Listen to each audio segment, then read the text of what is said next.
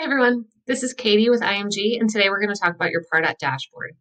So your Pardot dashboard is the very first thing that you're going to see when you log into Pardot. Uh, it gives you a quick snapshot uh, of most things that are happening in your Pardot account.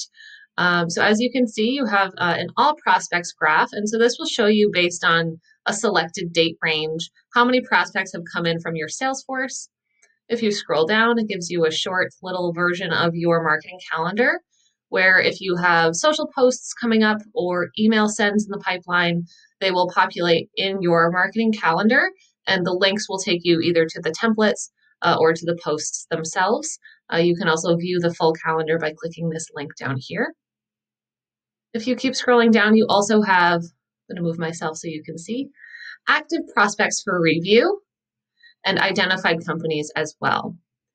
The last thing I'm going to note about your Pardot dashboard is that if you scroll all the way up to the top, it will also show you any warnings or notifications that you have related to your Pardot account. If you have any questions, feel free to contact IMG.